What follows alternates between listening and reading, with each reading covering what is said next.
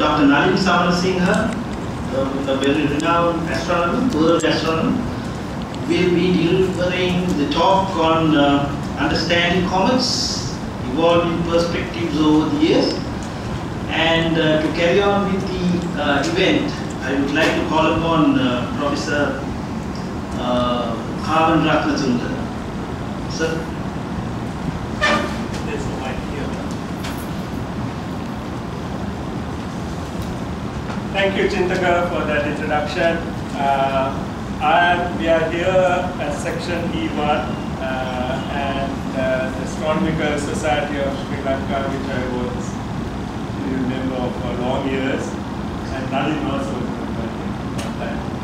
And uh, this about six, maybe about six months ago, when sort of I got an email from Asoka saying that he has published this book. And I think a lot of us knew the book was existing but didn't know where to actually buy a copy. And I suggested that we have this launch so that people know they can come, who are interested can come and buy a copy. Uh, let me start the proceedings by giving, gifting, launching the book by giving a copy to our speaker, Nalin Samarasinha. The book uh, has been published by Asoka Mendis and he has gifted the whole, uh, all the books to the Foundation of Goodness and all proceeds from the book sales will be going to the Foundation of Goodness. So those of you who have not bought a copy, please buy a copy. Uh, all the proceeds go to a worthy cause. So let me start the proceedings by reading briefly a small uh, a sto- uh, uh, biography of uh, Professor Asoka Mendis so that you know uh, who uh, they, Asoka Mendis is my, must be the second most senior, second or third most senior Sri Lankan to do astrophysics abroad. I think the most senior is Chandra Wickramasinghe. I think it's John's uh, probably. Same batch. Same batch. Okay. Chandra Wickramasinghe and Asoka Mendis are sort of uh, contemporaries and actually lead the uh, sort of the astronomy astronomers from Sri Lanka. I think there's been uh, maybe about 10 or 15 more who are sort of uh, one of you, uh, myself and Nalin, and there's about 10 or 15 more who have done PhDs and are actively in research. I happen to be the only one who is back in Sri Lanka, now switched to a different field. And uh, Nalin continues to uh, do astrophysics in uh, US with comets, and he was the ideal uh, speaker for this uh, book launch because Nalin's field of research is on comets, and that's what Asoka Mendis mainly did on. He did on inter- uh, a lot of uh, interstellar this thing, right? Uh, he did sort of the uh, ionosphere, a lot of work on that. And he did lot of stuff on uh, space last. So plasma physics. So I think uh, basically he was the best thing. So when I the book had to be launched and run, I heard- I knew that Nalin was coming uh, over for a short visit to Sri Lanka. I sort of uh, invited him and organized this event. Uh, let me read briefly about uh, Professor Asoka. Professor Asoka was born in Sri Lanka and is presently in the United States citizen, having received his BSc and degree of mathematics from the University of Ceylon and having lectured in mathematics, uh, mathematics department for several years. He proceeded to England on, the, uh, on a university scholarship in 1964 and obtained his PhD in astrophysics from the Victoria University of Manchester in 1967. The same university conferred him the de- uh, degree of Doctor of Science on him in 1978 for his uh, research contributions to cosmic physics. Following his return to Sri Lanka in 1967, he lectured for two more years in the Department of Mathematics. In 1969, he joined the Faculty of Applied Electron Physics and subsequently the Department of Electrical and Computer Engineering in the University of California, San Diego, and retired as a distinguished professor in 1994. Since then, he has continued his research as emeritus professor at UCSD, where he has been recognized as a member of the founding faculty. Professor Mendis uh, researched ex- ex- ex- uh, extensively over the uh, over a wide area of astrophysics, planetary and cometary physics, space physics, physics of dusty plasma and quantum plasma over a long career spanning almost five decades. He is perhaps best known for his pioneering work on the physics of comets and the physics of dusty plasmas, a field in which he has been described as the founder. Among the early astrophysical research, uh, particularly noteworthy is his contributions to the interstellar gas dynamics in the vicinity of newly formed stars. Uh, foremost among Professor Mendis's interests outside his scientific research is his abiding uh, concern for the explosive growth of the world's human population and the attendant pro- problems over consumption of resources and environmental pollution. Among his other interests is tra- travel to exotic places. Professor Mendis resides with his wife uh, Jan in San Diego, California, where they have been lived for over 45 years. I sort of have actually visited Asoka uh, one or two times in San Diego, and he is a very nice person, and I'm glad that he has written this book, which I think has a, would be of interest to anybody who wants to act, take astronomy as a career path. That's not an easy career path to take from Sri Lanka. I know that because when I selected to wanted to be an astronomer, my mother thought I was nuts. Basically, you have to get a job. You need to sort of do a proper job in Sri Lanka means getting into doing being an engineer or a doctor. And I sort of uh, broke away from that, and I think anybody who is interested in astronomy and going wanting to do astronomy will get a lot of inspirations by reading this book. So it's very nice that he has written not only his background, he has sort of traced his roots back to the ancient times of Sri Lanka, as well as then gone on to saying what inspired him to do astronomy and his full career. So uh, let me now go ahead and introduce our speaker, uh, Nalin Sam, uh, Samarasinha. He's a senior scientist currently residing in Tucson, Arizona. Uh, Dr. Sa- uh, Samarasinha obtained his Bachelor of Science in Physics from the University of Colombo, graduating with first class honors in 1981. He received his master's degree in astronomy from University of Maryland, College Park in 1985 and his PhD in 1992. He has been a research mentor for many undergraduates and graduate students. He is active in current activities and co-investigator of many outreach grants. Dr. Samarasinha's research interests are focused on the study of comets and other small bodies of the solar system.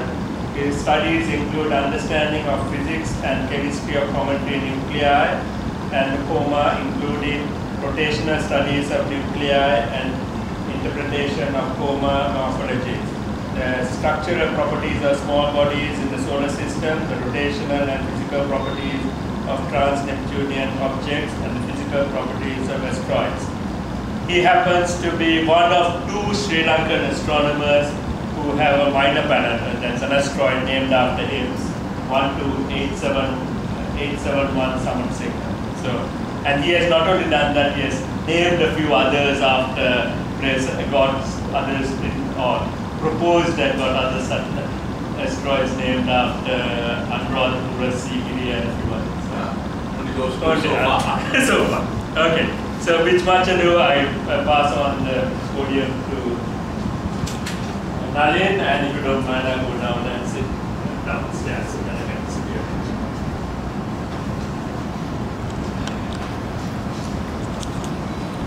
Thank you, Kavan and uh, Chintaka, and also uh, both the Sri Lanka Association for the Advancement of Science, Section E1, and uh, Sri Lanka Astronomical Association for organized organizing this event and uh, inviting me. And uh, I uh, spoke to Asoka before leaving uh, and uh, he expressed his uh, inability to be here in person due to health issues, but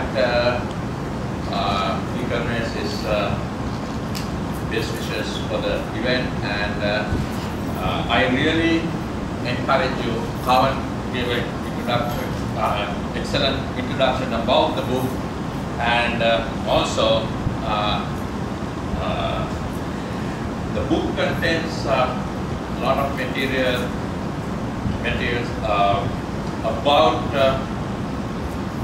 science, how things have been accomplished, etc. But there are various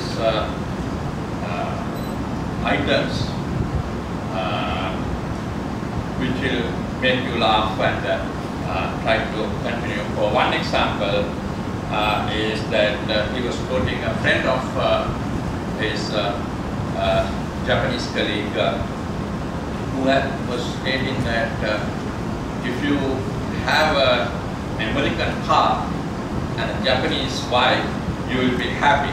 So Asoka says uh, he has a, uh Japanese car and American wife, and he's uh, very happy. So, so uh, apart from those, uh, I really encourage you to buy the book, and it is going for a worthy cause uh, Foundation of Goodness, which is doing a lot of charitable work uh, throughout Sri Lanka. Uh, and uh, I really encourage you to buy the book. So, uh, Asoka's uh, primary scientific interest, uh, especially in the last couple of decades, was concentrated on dust in plasma physics, and actually, he can be considered as the father, uh, or at least one of the pioneers of dusty space plasma physics. Uh, I'm not an expert on that area, uh, so I will concentrate on mostly on comets where he has uh, worked throughout his career and especially in the 1980s, 70s, uh, and little bit in the 90s too. So uh, uh, during my talk, I will uh, go back and forth about some of Asoka's contribution uh, to the field of cometary science. So uh, the talk is titled Understanding Comets, Evolving Perspective Over the Years.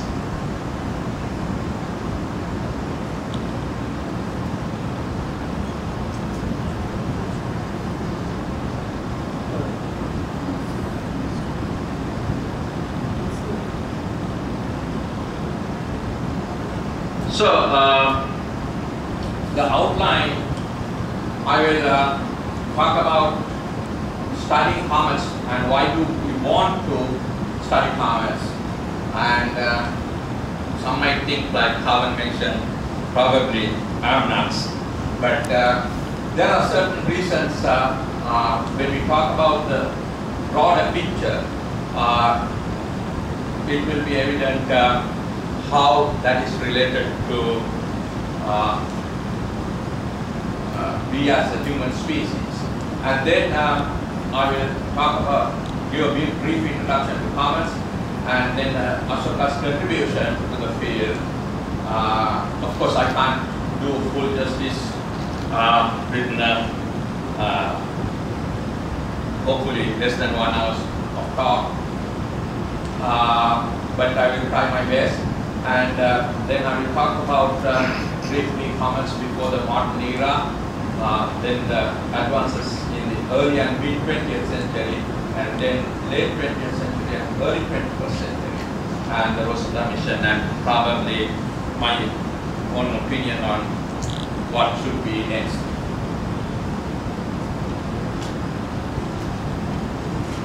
So the broader picture, why we study comets. Comets are the least altered objects left over from the formation era of the solar system. Uh, so the solar system was formed, uh, there were two kinds of objects which are left over. One is comets and the other one is asteroids. Uh, asteroid form close to the sun and comets formed further out because comets have uh, ice. Uh, so if, if you look at most of the uh, comets and asteroids, which we call uh, part of the small bodies of the solar system, because the large bodies are planets. So out of all the small bodies of the solar system, compared with asteroids, which are undergone an immense amount of collisions. So uh, their structure uh, has changed over the years a lot and chemically there were changes. But comparatively speaking, comets have undergone little change from that initial era. Uh, I'm not saying that no changes has occurred, but the changes were comparatively small. So it is a good probe of the early solar system environment, trying to understand uh, how the solar system was formed. And also, planets were the build, build, building blocks of the giant planets, uh, Jupiter, Saturn, Uranus, and Neptune. Similar to asteroids were the building blocks of uh, terrestrial planets, including our own Earth. So, also, uh, it is one of the source of water and organic compounds for the early Earth. Uh, I'm not going to go beyond that. Uh, uh, and the other source is, of course, uh, asteroids. And also, by learning about comets, because there are comets and asteroid impacts happen throughout the 4.6 billion years where the Earth was in existence. So, those impacts will occur, uh, may not be in 100 years, but if we want to mitigate the impact due to those impacts, uh, that is something which we can achieve. We have more or less the necessary technology. We can't do anything with regard to uh, cyclones or earthquakes other than evacuation from the area.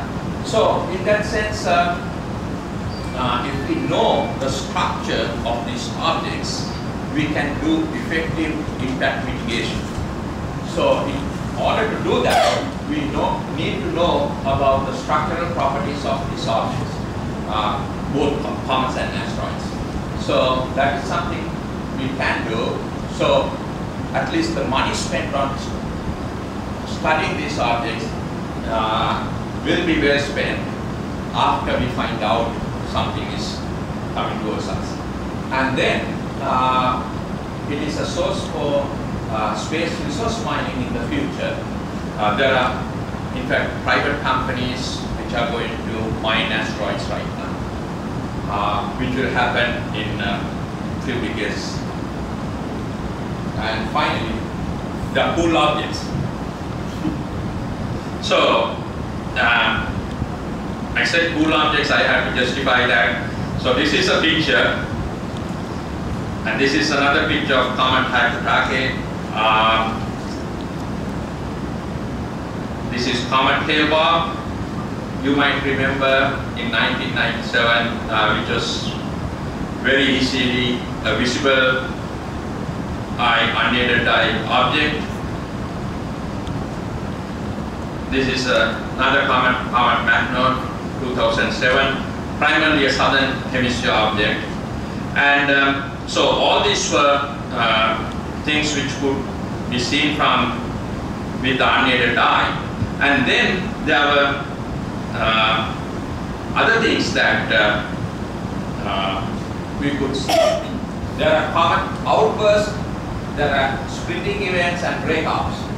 So th this is uh, comet Shoemaker-Levy 9, which all this, it broke into number of parts due to the tidal forces of uh, Jupiter and uh, it uh, impacted uh, uh, Jupiter in uh, 1994 uh, July.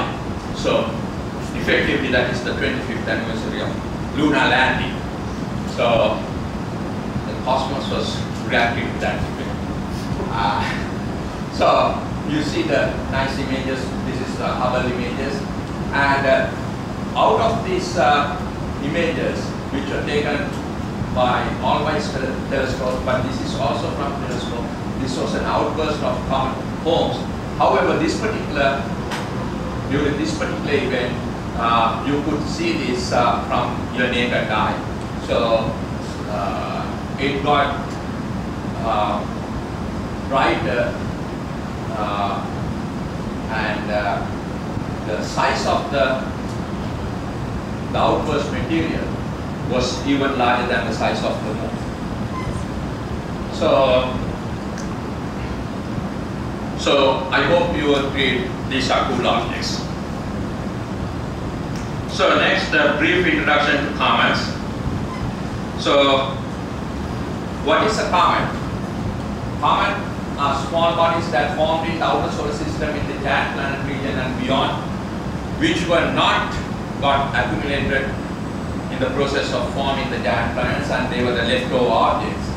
So, from an observational point of view, a definition of comet to distinguish it from an asteroid, a small body with a detectable coma. Uh, I have certain issues with that definition, but uh, I'm not going to get into that. Uh, uh but, uh, but right now that is the definition. Sir, do you have a different, like a PC definition? Do you have your own definition? Uh, okay. The only problem is the coma could be dust or gas or combination. So if you look at uh, in the previous image, uh, some of these, uh, uh I'm talking about uh, uh, I can't remember, yeah, this event, this is Scheila, I believe.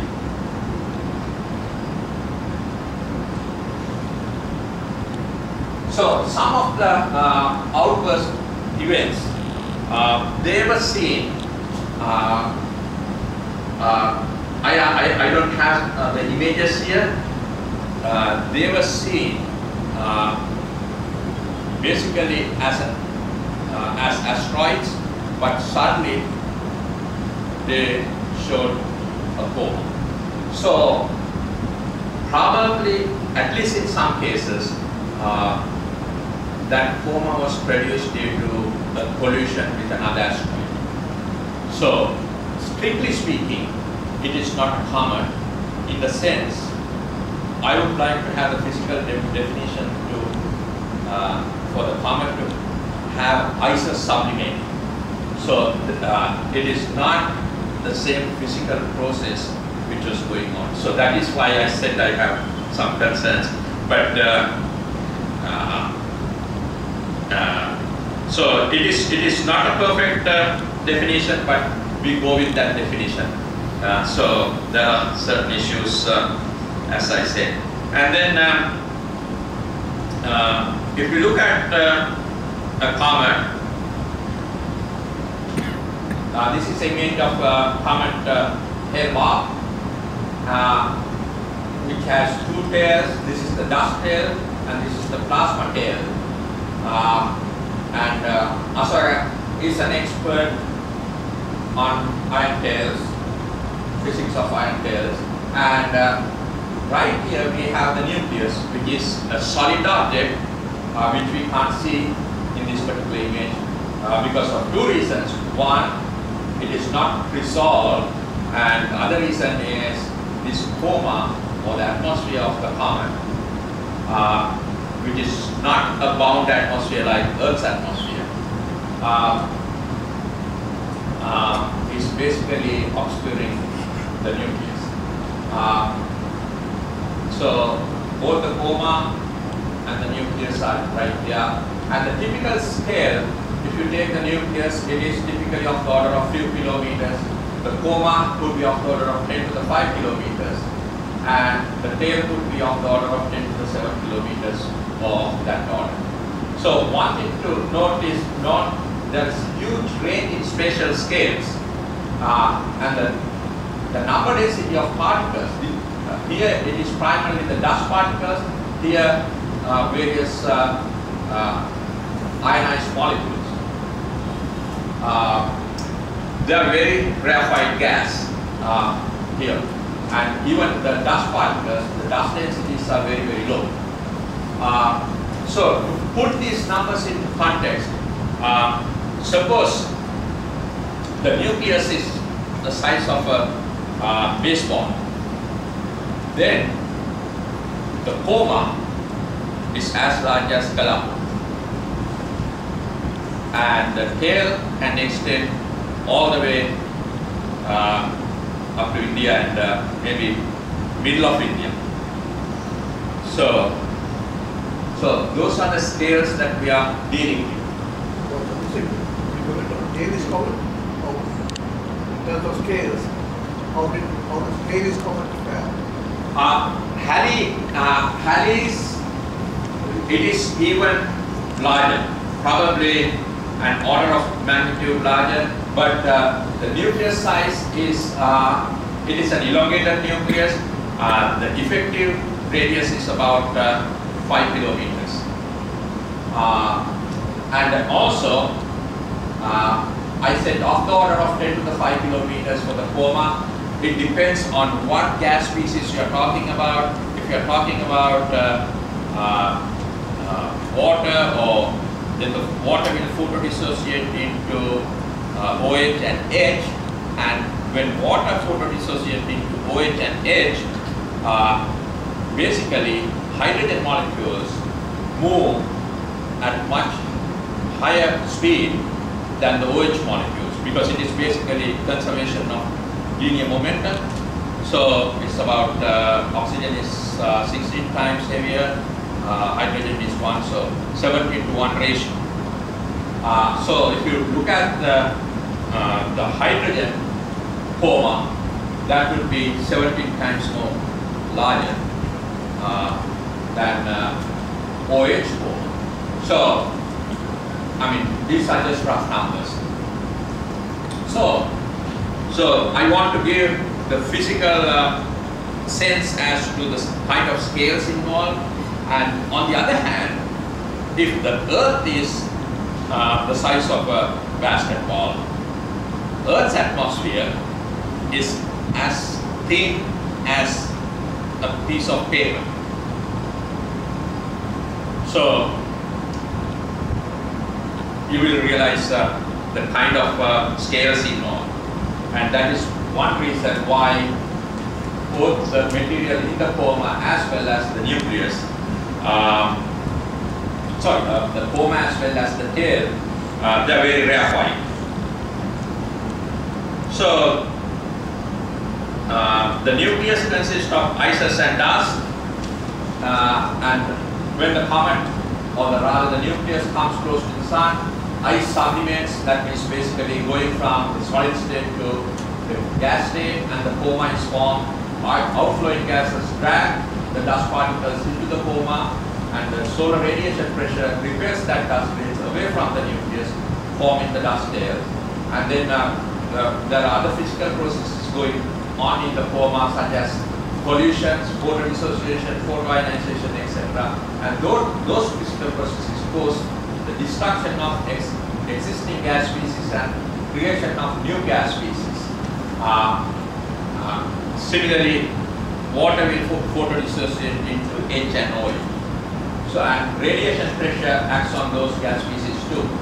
Uh, as far as the tails are concerned, solar wind drags ionized gas molecules creating the plasma tail uh, or the ion tail and the velocities are typically 200 kilometers per second compared with the dust velocities in the dust tail which is uh, few tens to less than uh, kilometer per second. So those are the scales associated. now uh, I would like to talk about uh, some of uh, career on comet science. Hope I didn't get uh, anybody miss. Uh, so I ordered this based on the, the number of uh, peer-reviewed publications and uh, Asoka has published and his students, with his students he has published a number of uh, publications on uh, cometary science, uh, primarily in the 70s and 80s.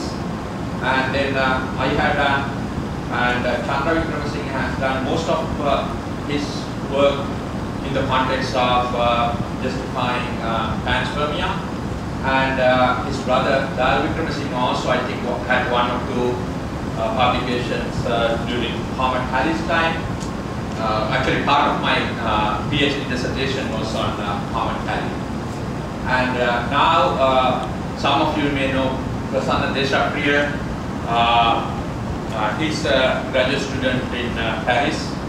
Uh, he is working on uh, uh, Rosetta spacecraft data of comet uh, Churyumov-Gerasimenko. So, uh, uh, there are only about uh, 15 or so Sri Lankan astronomers, and especially when you look at comets, it is a very small field compared with extragalactic astronomy, stellar astronomy, galactic astronomy, and even planetary astronomy, which is a subfield of uh, planetary astronomy. Uh, comets is a subfield of planetary astronomy. So in that sense, uh, there are a lot of uh, Sri Lankans who have uh, a comparatively large percentage of Sri Lankans who have worked on comet science. Uh, hope I didn't get uh, anybody's name missed. Uh, so, uh, some of his contributions uh, uh, with my own biases. Uh, so, uh, Asoka's work with his student David Brin, who is now a science fiction writer, a good science fiction writer, I should say. Uh, they looked at uh, gas mantle developing on comets. Basically, uh, when the outgassing happens, the volatiles, the ices sublimate from comet, uh, there will be dust layer uh, left over on comets. So uh, there was a lot of work done by Mendis and. And uh, so this was quoted from a chapter in Comets 2 book that is the last major scientific publication related to comets, a review publication which was published in 2004. Uh, I have a chapter there on rotation. Uh, now actually it is time to have another book, especially after the Rosetta mission. Uh, and also, he suggested the possibility of X-rays from comet Wickhoma in the 1970s with uh, Wing-Huen Ip. Uh, is a, uh, a scientist, uh, very interesting guy, uh, who started from, I think he was born in Nan- Nanjing, uh, China. Uh, then went to Macau, lived there, came to US, worked with uh, Asoka for his PhD, and then went to Max Planck Institute in Germany, and now uh, is uh, in Taiwan. So, really nice guy. So, uh, uh, so this was long before X-rays was discovered in comets. X-rays was discovered in 1996 uh, in Hyakutake. Uh, uh, they were the first to suggest, uh, even though the physical mechanism happened to be different. So the way which I look at, he was looking both uh, Asoka and uh, uh, they were looking beyond the box. So that kind of attitude is really important in science. Irrespective of whether particular physical process is uh, exactly what is responsible or not. So uh, we learn from mistakes sometimes. Uh, uh, that is how science progresses. Uh, so, uh, and then of course his main area, physics of dust plasmas and charged dust particles, the dynamics of charged dust particles in the cometary environment. Uh, Asoka has done pioneering work in this area.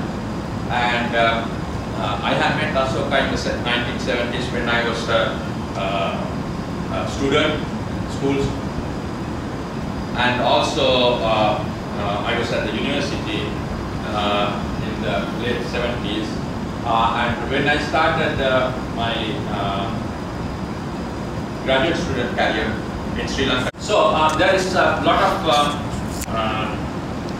uh, pioneering work that he has done in this field in addition to uh, uh, comet, uh, sorry, uh, the space, plasma is well known. So uh, this is uh, some of his publications. I don't know whether uh, those of you at the, the back of the room can uh, see some of his publications ranked according to the citation and uh, uh, the first few are on dusty space plasma and then he had a monograph with two of his students uh, and Max Marconi.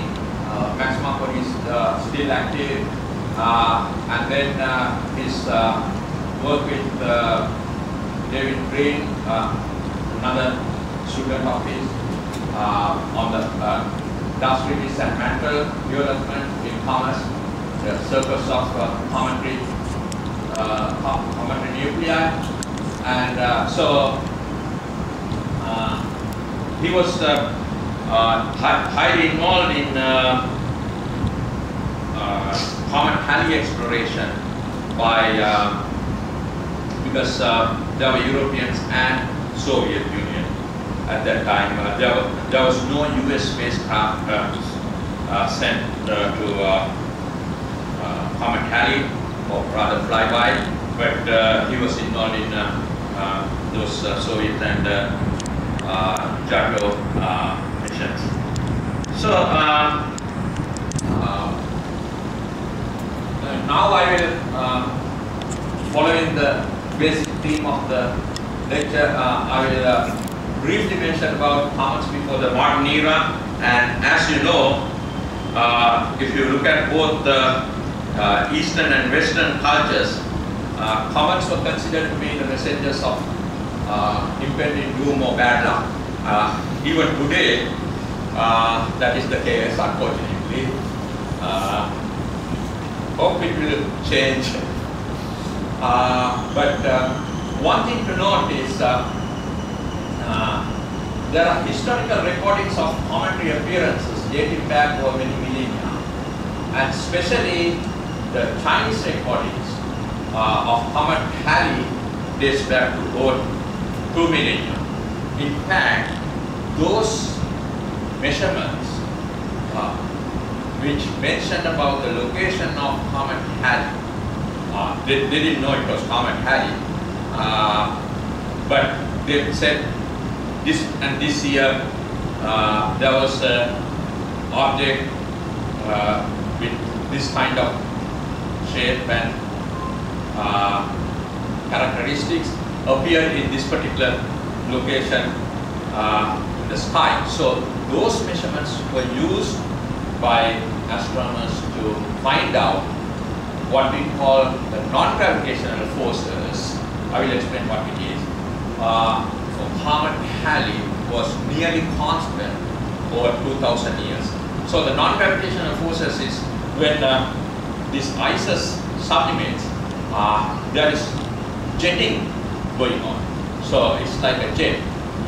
Uh, so if you think about the water hose, uh, when you open that, when water starts flowing, there is a reaction force, uh, a backward reaction force. So similarly, uh, there is an equivalent uh, effect going on in comets also.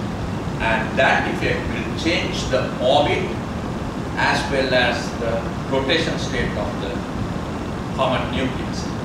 So, so the location of these Chinese records uh, were helpful in determining uh, the non-gravitational forces. No, they are called non-gravitational because it is not gravitational. Uh, uh, those were merely constant over 2000 years and that put certain constraint on uh, identifying uh, how the nuclear activity occurs, uh, how long the activity on a certain location of the comet nucleus would last and things like that. So uh, uh, next I will uh, talk about early and mid 20th century.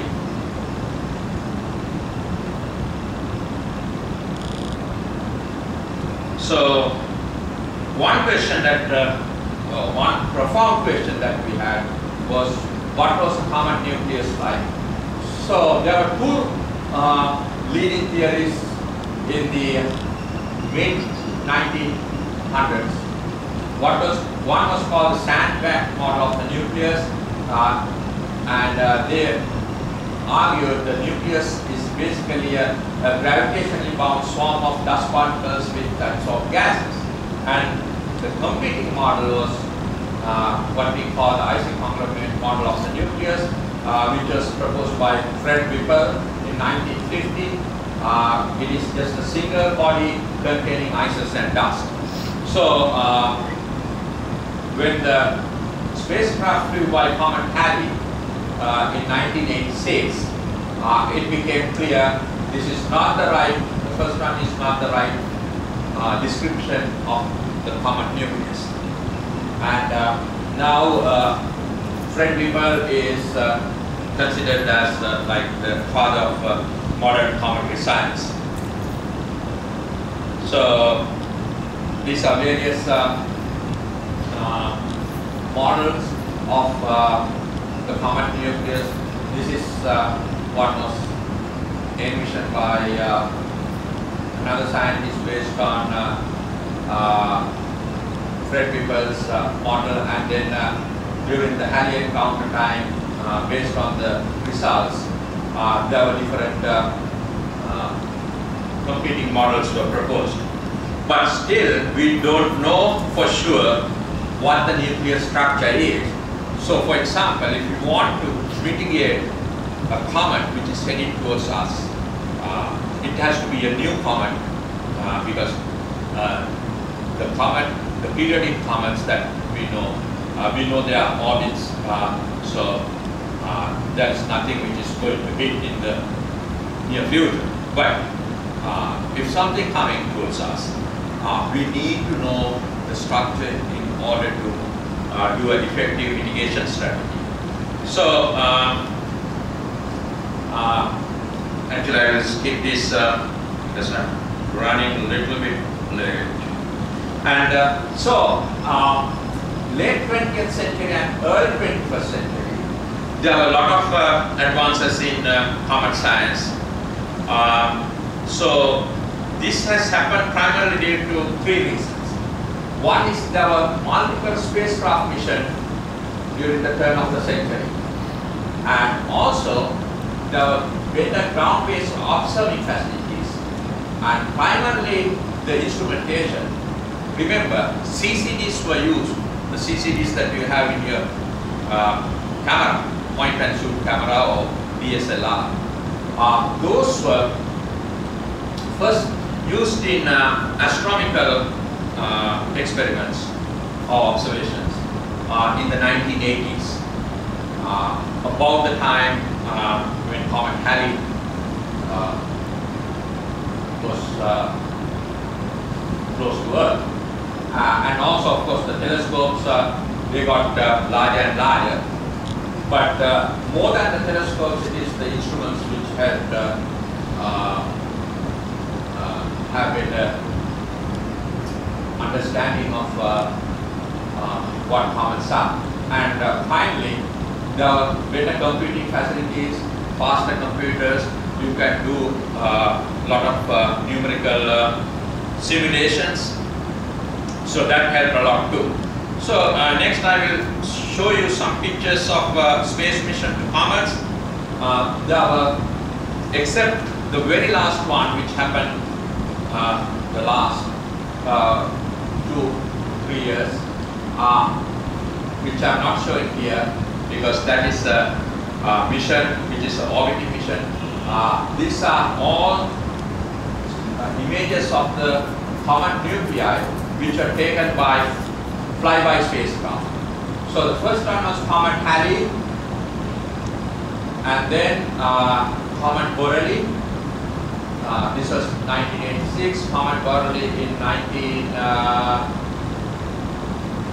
sorry 2001 I believe, and then uh, Wild 2, uh, Tempel 1, and then Hartley 2. Actually, this is to the these are to the same scale, so Hartley 2 is relatively small compared with all the other comets.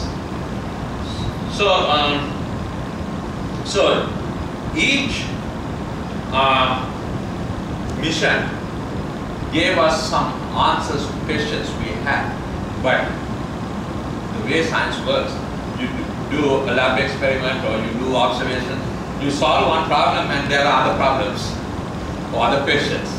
So, uh, so this is uh, Halley, uh, and uh, one of the major results is the confirmation that its albedo is near 4%. That means it reflects only about 4% of the light which impacts on it. So, comet nuclei are really, really dark, uh, dark than the asphalt, the road surface. Uh, so that may be due to two reasons. One is it is really black, and the other reason, uh, most likely, it is very fluffy. And also, this is in what, what we call the first comet or first small body to be identified as a non-principal axis rotational state. That means uh, it is not in a relaxed rotation state. It is sort of uh, uh, in layman's uh, uh, language, uh, you can call it a tumbling object. I personally don't like the tumbling, that is why I call the non-principal axis rotation. So if something is in the least energetic, most stable rotation, it would just rotate around the shortest axis like that. But this object is not doing that. Now there are uh, other uh, asteroids as well as comets uh, we know in this uh, particular rotational state. Uh, and then uh, comet Borrelly, again an elongated object. The reflectance or the albedo was different throughout the surface. You could see some geological features and these jets coming out. This this is in the continuum. That means uh, uh, basically we are seeing dust here, not gas gases. Because if you want to see gas, you have to use that partic- particular filter which separates that particular wavelength. But uh, this is a broadband filter. Uh, they have image deep space uh, spacecraft. Uh, so this can be back to where it is coming from, the nucleus. So um, in 2004, uh, there was a Stardust mission. These are two uh, stereo images, and they collected uh, some of the particles from the coma, dust particles, and they brought back. And uh, one of the significant results from analyzing those dust particles was various minerals formed that uh, that you can find in the dust grains. Uh, they were formed both far and close to the sun. So the implication is there was significant mixing going on in the solar nebula when the solar system was forming. Then uh, Comet Tempel 1, uh, so there was uh, there was a, uh, an experiment done here. Uh, a bigger, big copper object was smashed into the comet and uh, trying to understand the interior structure, uh, not entirely but to a certain extent. And uh, actually the principal investigator of this uh, project uh, was my uh, PhD advisor, but it was after I, I had done my PhD. So there were, there were the nucleus, the surface of the nucleus had few ice patches. Elsewhere it was covered with dust.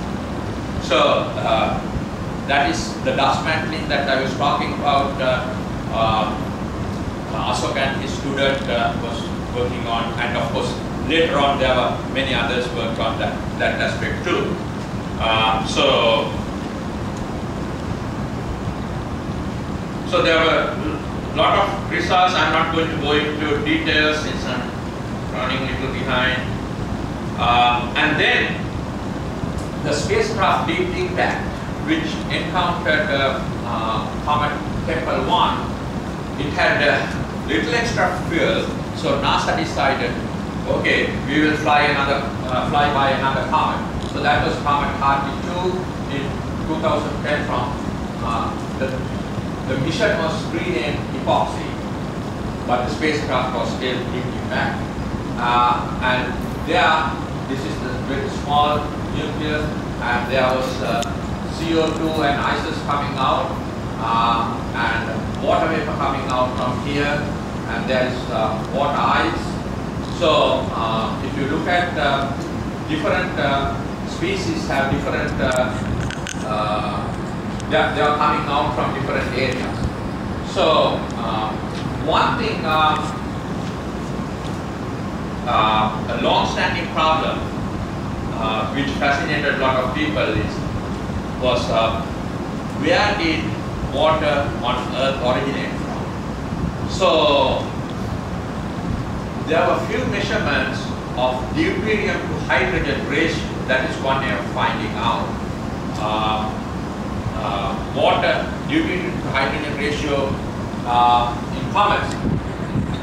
So that can be compared with the dpH ratio in seawater. So it turns out for Hartley 2 it was very similar. So people thought, oh, uh, comets should have contributed a lot of water to Earth. Uh, but later on I will so, uh, show a slide which will indicate that that is not necessarily the case. There is a range of dpH ratios uh, among comets. And uh, then the Stardust mission, which flew by Comet Wild 2, uh, it had little extra fuel. So NASA decided to fly by Comet Tempel 1, which was imaged by uh, the Deep Impact spacecraft to see what has happened during one orbit. So, so the Deep Impact was, was taking this event July 2005 and then the Stardust next, it was renamed the Stardust, Stardust next uh, in 2011 and you can see these features change on the surface due to sublimation of ices on the surface. Um, and then uh, during the turn of the century, there was new understanding and uh, trying to categorize uh, what are the new, uh, what, sorry, what are the various type of comets and where they come from because there are two uh, reservoirs of comets. One is the so-called belt. Those are basically objects beyond uh, Pluto. sorry, uh, beyond Neptune, um, and uh, uh, those are called belt objects. And then uh, there are objects called scattered disk objects, which are inclined further away from the plane of the solar system.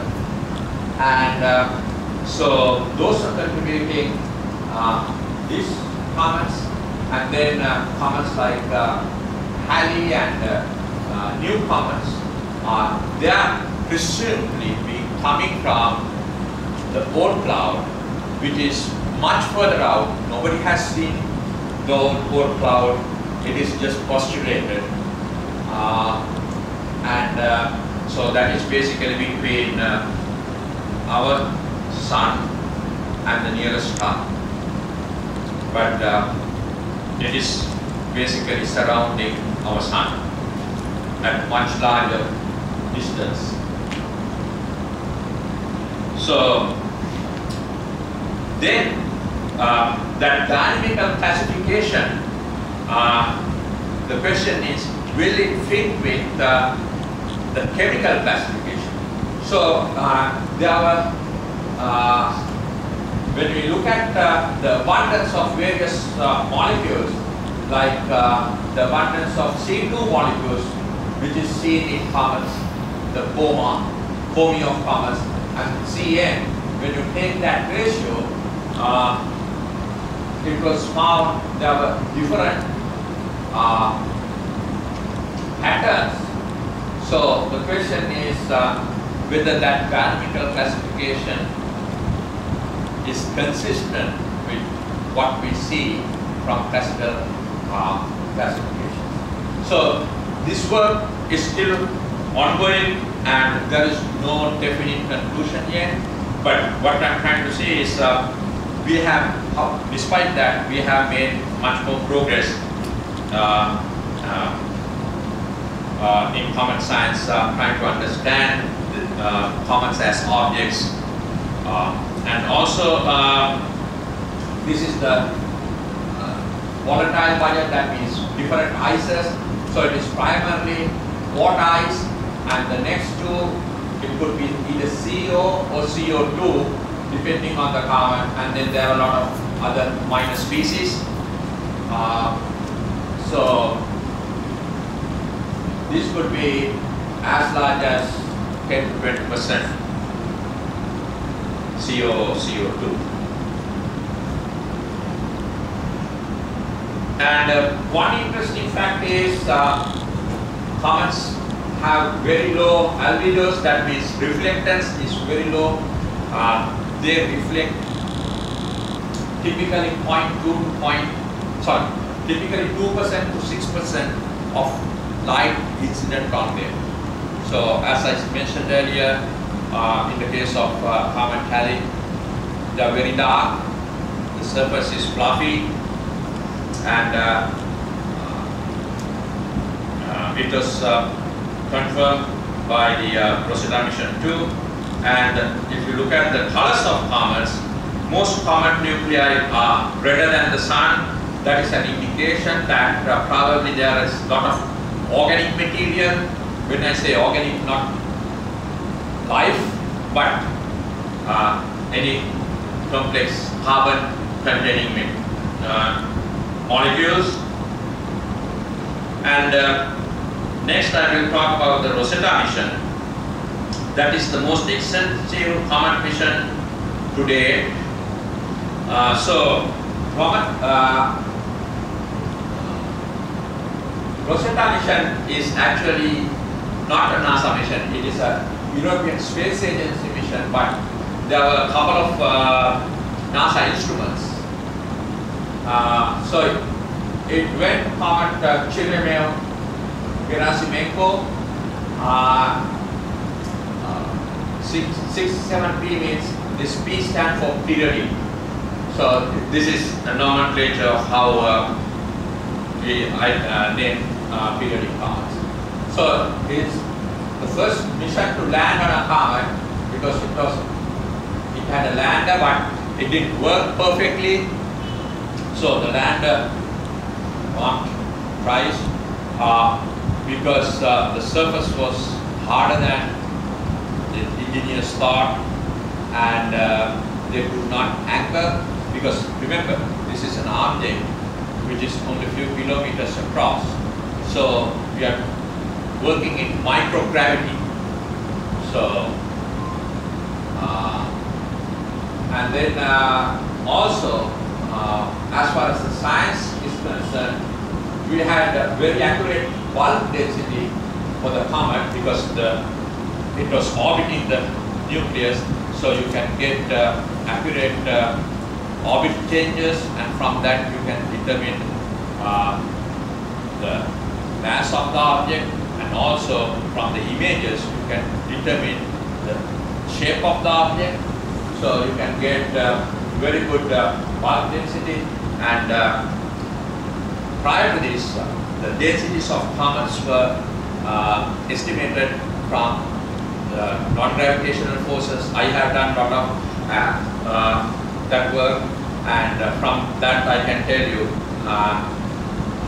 the error bars are pretty fairly large. However, we were confident because uh, between from 0.1 cc uh, gram per cc to 1 gram per cc, and that was confirmed. And actually, the number is about uh, uh, somewhere around 0.5 that means half the density of water.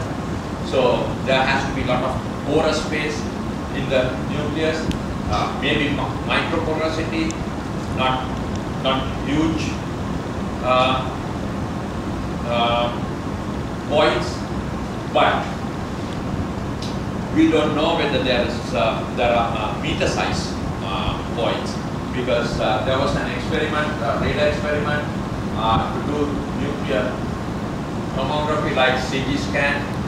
That experiment could not be done properly because the lander was part of it and the lander didn't land as planned. Uh, so the estimate that they have is there are the nucleus density is uniform at 10 meter scale. So there can't be uh, large voids, 10 meter or larger. But uh, meter scale, we don't know. So still there are a lot of unknowns. Uh, and I will show some pictures. So this is the nucleus, one of the most weirdest shapes that uh, we are seeing for an object. Is Uh, that, a, is that what you see at the end, the impact crater or something like that? No, no. Uh, this is, uh, this area is uh, probably, actually, uh, even among the Rosetta uh, team, there is ongoing debate whether this, uh, now I will show the next uh, slide, probably it's a little better. Uh, okay. There is a smooth area in between, like a neck. So this is whether this lobe is different to this lobe. That means two lobes Merging. merged and form a single object. So that is the leading idea right now. And uh, uh, I heard a rumor uh, because uh, there was a uh, meeting uh, uh, last month actually in uh, Uruguay, Montevideo, on comets, sorry, asteroids, comet and meteors.